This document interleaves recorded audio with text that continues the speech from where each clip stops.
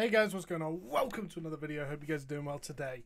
In this video, we're going to be looking at the new Slime Serpent mount that has been discovered very recently. As you've probably known if you've been on Reddit or anything like that, there was a mount found that has been people have been looking for for the last uh, well since Shadowlands came out. Really, it was data mined early in PTR. We knew it was available. We just didn't know how to get it.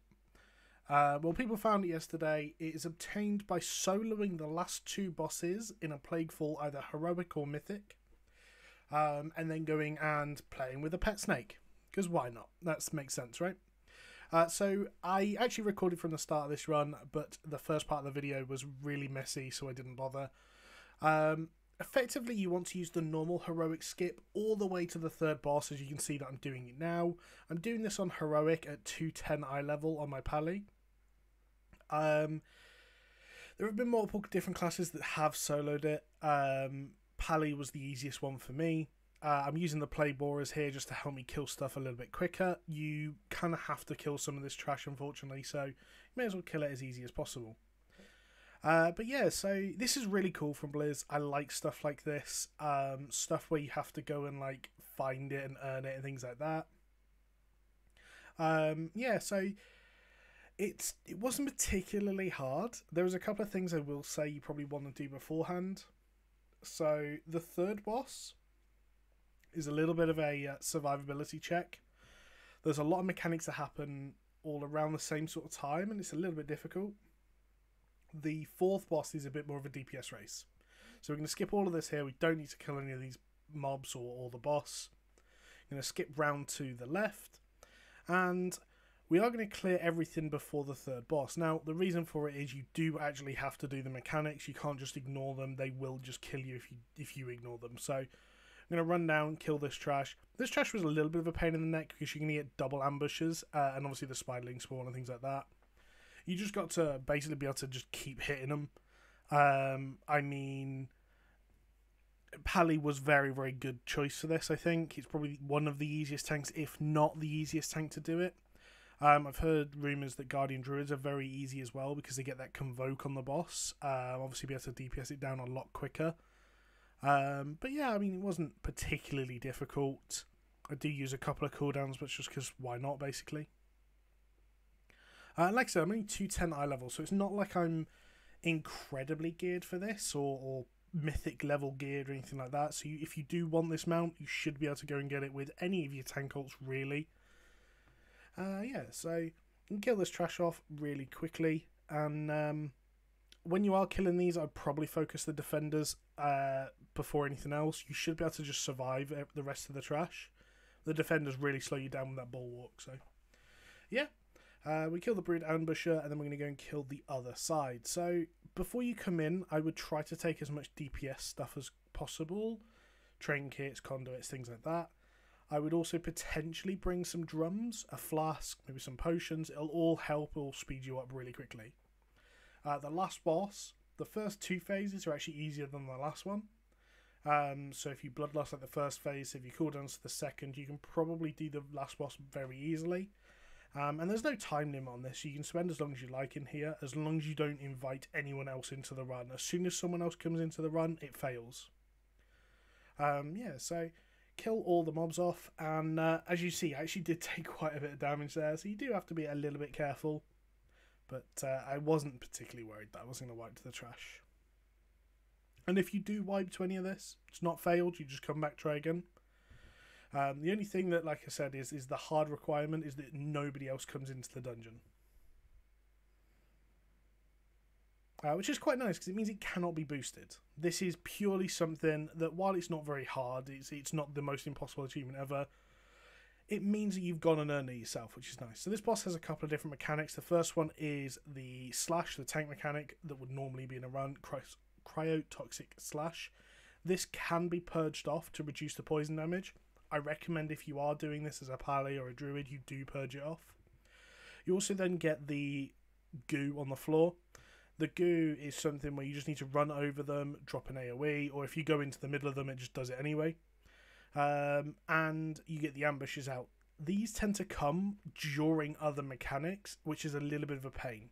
The Shadow Ambush would normally be on a DPS or a healer. It never normally goes onto the tank, but because you're on your own, the shadow ambush goes on you. Well, this is something where you just need to uh, basically go and manage it.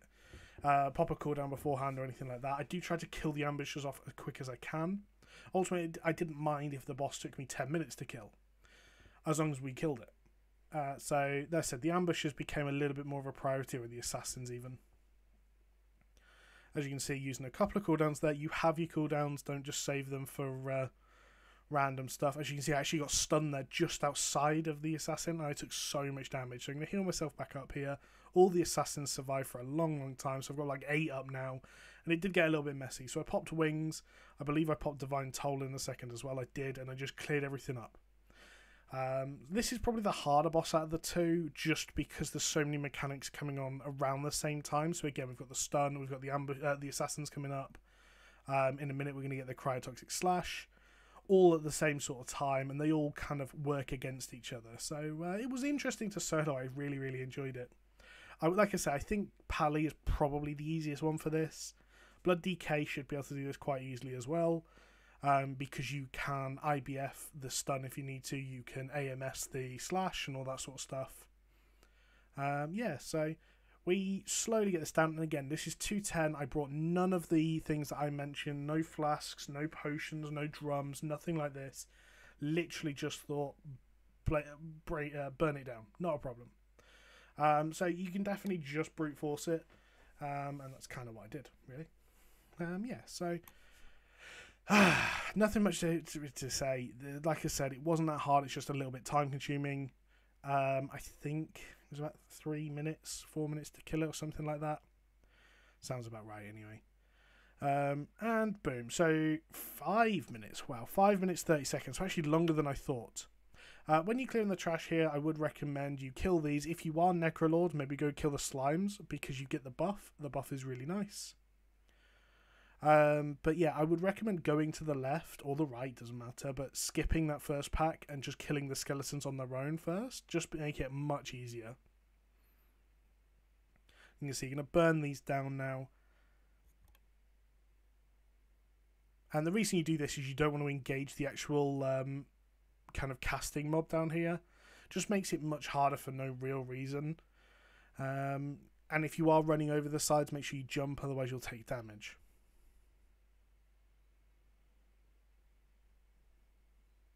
So I said this the whole thing took me about half an hour to do between obviously skipping everything, doing a little bit of research, um, and all that sort of stuff. Obviously, you'll be able to see in this video where the slime serpent is to do the things after the boss.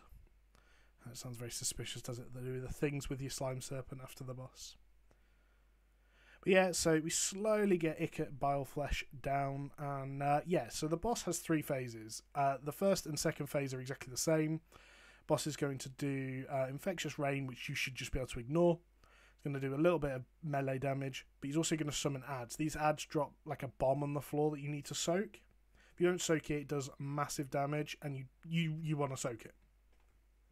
The issue is if you can't kill that before the next one spawns, you need to rotate and kill both and soak both as well, which you'll see in the video. I will explain it further in a second.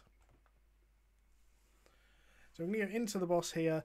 Just 400k health, which isn't that much really. Um, so this is the first ad, and you see I actually pop wings here. I want to get a lot of damage out, and I think we kill this one before the next one spawns. But this is the bomb. He drops it on the floor. You need to just stand in it to soak it. Same as you would in a normal heroic run. The difference is if you get two up at the same time, you need to go and soak both. Now they'll be on a separate timer. So you can run to one, soak it, and then run to the second one. So you see I've got the second ad up now.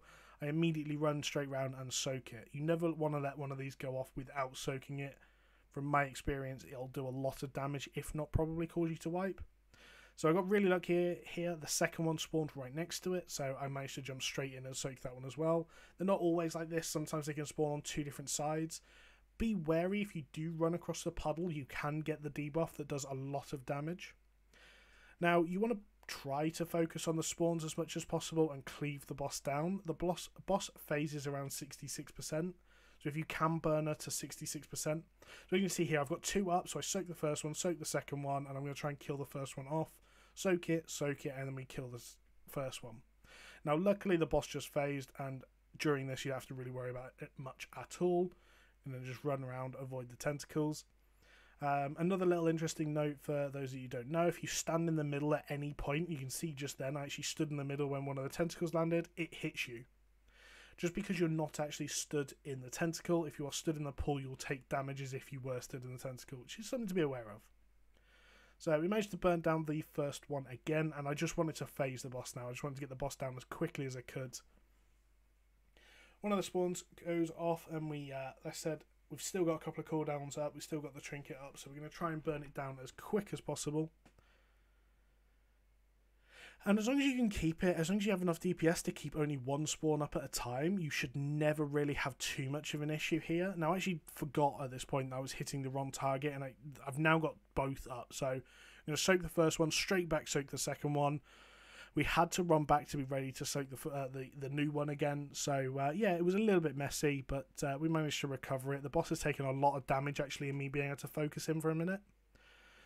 Uh, so I believe the boss is on about 35%. At 33, roughly, the boss fades.